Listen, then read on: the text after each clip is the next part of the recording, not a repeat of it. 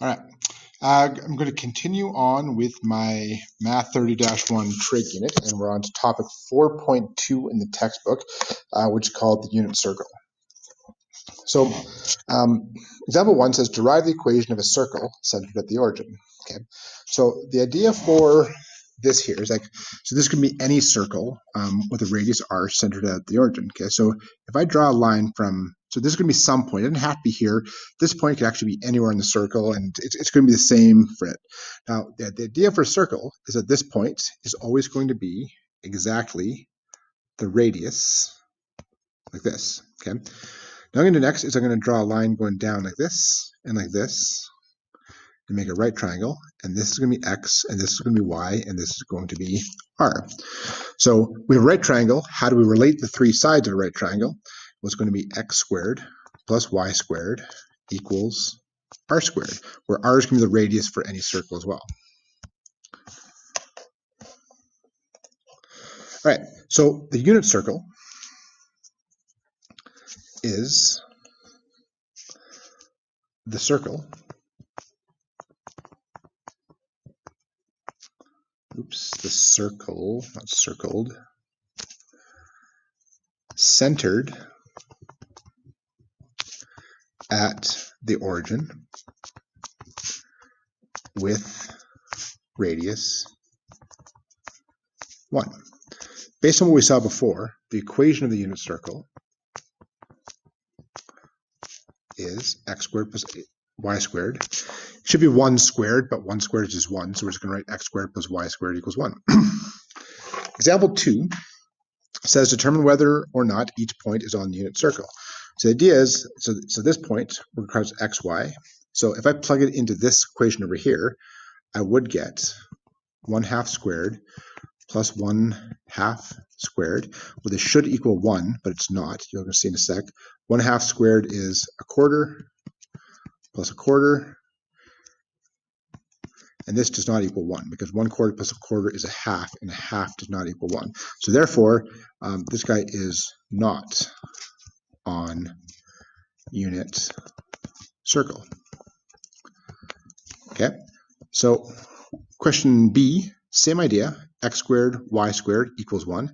So if I go root 3 over 2 squared plus negative 1 half squared equals 3 over 4 plus 1 over 4.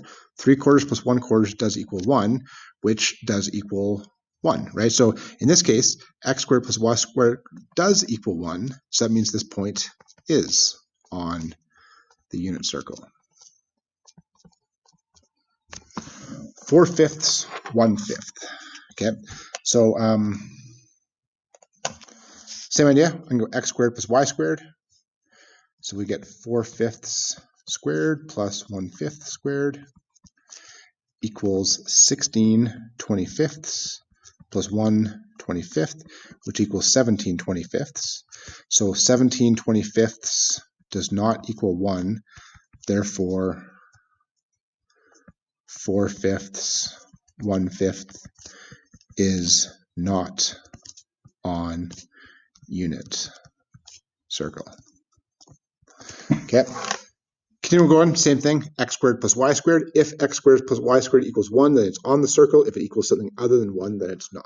Okay, so we have negative root 7 over 4 squared plus negative 3 fourths squared equals 7 over 16 plus 9 over 16 which is 16 over 16, which equals 1.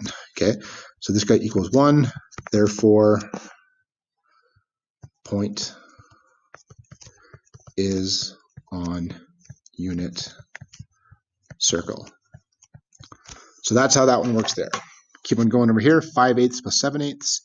Um, so we have 5 eighths squared plus 7 eighths squared is 25 64ths plus 49 64ths, which equals 74 64ths, which is not equal to 1. Okay, so therefore, this is not on circle. 1 over root 2, negative 1 over root 2 plus 1 over root 2. negative 1 over root 2 squared plus 1 over root 2 squared equals 1 half plus 1 half, which does equal 1. So this bite is on unit circle. All right, let's have question example 2 works. Um, example 3, uh, these points are on the unit circle, determine the missing values. So since they are, this tells us that x squared plus y squared does in fact equal 1. So we have 1 third squared plus y squared equals 1. This is 1 ninth plus y squared equals 1. This is y squared equals 1 minus 1 ninth. Now 1 minus 1 ninth is like 9 over 9 minus 1 over 9 is 8 over 9. Square root, square root, plus or minus root 8 over 3. Now root 8 is the same thing as root of 4 times 2, which is 2 root 2. So we get y equals plus or minus 2 root 2 over 3. Okay. Similar idea here. We have x squared plus negative 1 quarter squared equals 1 because it is on the unit circle. That means we have x squared plus 1 16th equals 1. Subtract 1 16th from both sides. And we get 15 sixteenths square root square root x equals plus or minus root 15 and we can't simplify this guy any further over 4. Okay, so they're going to be the two values for x. It's going to work for example 3 here. Okay, example 4, there are three triangles that we need to memorize.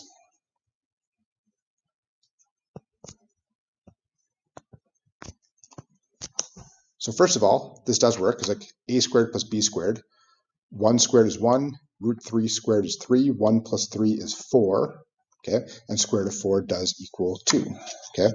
This is almost the exact same triangle, it's just oriented, it is the exact same triangle, it's just oriented in a different way. We have 1, 2, root 3, and then we have 1, 1, root 2, okay. So 1 squared plus 1 squared is 2, square root of 2 is the square root of 2, okay. Now the thing about these triangles over here is that we have some angles that we need to that we need to fill out with this.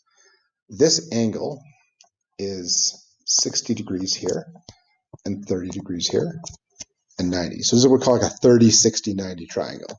Similar for this guy over here. Now this is going to be the 60 here and this is the 30 here. Okay. For the third one, it is 45 degrees and 45 degrees like this. Okay, so these are three triangles that we're going to use in a moment over here. Example five, fill out the unit circle. Okay, so when we fill out the unit circle, this is how we're going to do it. We know that this point over here is 1 comma 0, and we know that this guy over here is 0 comma 1. What I'm going to do next is I'm going to draw a few other triangles, and the first triangle I'm going to do is going to be like this.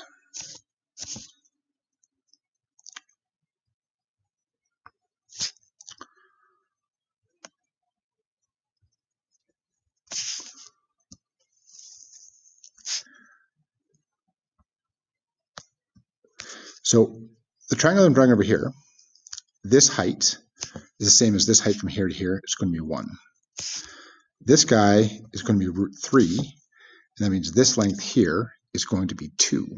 Okay, and this is for an angle of 30 degrees. Okay, so what we get over here is like, I know the coordinates of this point are going to be root 3 comma 1. But what I want is I want to figure out what are the coordinates of this point over here. Okay. Now the idea that we're going to do over here is that I know that the length from here to here is 1. Okay, so what I want to do is I want to be able to shrink this big triangle down to this small triangle over here. So if the long hypotenuse was 2 and I divide that by 2, I get 1. if the leg of the triangle on the bottom from here to here is root 3, if I divide this by 2, that means from here to here is going to be root 3 over 2. If the height of this triangle was 1, that means the height of this triangle is going to be 1 half. So all that this did is it gave us this point over here. It's going to have an x-coordinate of root 3 over 2, and it's going to have a y-coordinate of 1 half. And this was the point at 30 degrees. Now what I'm going to do as well, I'm going to go back to the previous slide here. And when we hit 30 degrees, which was like right here, and if you remember from the other lesson, guys, 30 degrees is the same thing as pi over 6 radians. The coordinates of this point were going to be root 3 over 2, comma 1 half. Sound good? All right. Now what I'm going to do is I'm going to do the same thing, except I'm going to erase all this. And bear with me for a second here. But I'm going to draw my 45 degree triangle that we talked about before as well. So what's the 45 degree triangle going to look like? It's going to have from here to here a base of 1, a height of 1, and this guy's going to go like this. So this was 1, this was 1. From here, the hypotenuse of this guy was square root of 2. Now what I want is I want to get this smaller triangle so I can figure out this point here. And I want to shrink this triangle like this. So if my hypotenuse was root 2, but the hypotenuse of the radius of the circle is 1, I need to go and divide all three sides by root 2. That means this guy is going to be 1 over root 2. This is going to be 1 over root 2. And this is going to be 1. Okay. Now, a little bit off the side here. Remember back to math 20. If we have 1 divided by square root of 2, this skill is called rationalizing the denominator. I'm going to multiply by root 2 over root 2, and it gives me root 2 over 2. So this guy over here is actually root 2 over 2 and this is actually root 2 over 2. Therefore, this point here has coordinates root 2 over 2, comma, root 2 over 2. Okay, I can go back to my previous one. So on this slide here, this point, which was at 45 degrees, which was at same thing as pi over 4, and we'll review the angles in a second here as well.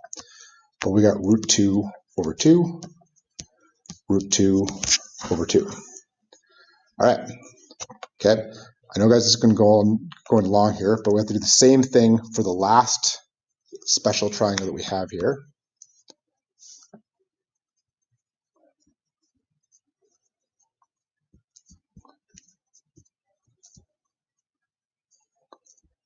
So the last one we have had a base length of 1 and had a height from here to here of root 3. I think normally it's probably go a bit higher than this, but I've kind of run out of room on the screen. So that means this guy over here was my 60 degree angle. This was root 3, this was 1, and this was 2 from here to here. So again, I need to be able to shrink down this triangle so I can figure out what the coordinates of this point are. And the way I'm going to do that is my hypotenuse is 2, but I want my hypotenuse to be 1. So I'm going to divide all three sides of this by 2. That means I get a root 3 over 2 for the y value, a 1 half for the x value, and a radius of 1.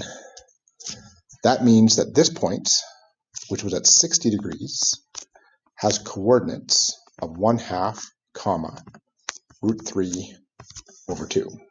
Okay, and those are kind of the, the so these five points we're going to use to fill out the rest of the unit circle. Okay, all right, I'm going to show you how we do that in the next screen. It's going to allow me to clear out all this stuff again. All right, so what we had first is we're going to review the angles that we learned in our last topic. So the first one is we have an angle of 0 here. This angle was 180, which is the same thing as pi radians. This guy was 90 degrees, which is the same thing as pi over 2 radians.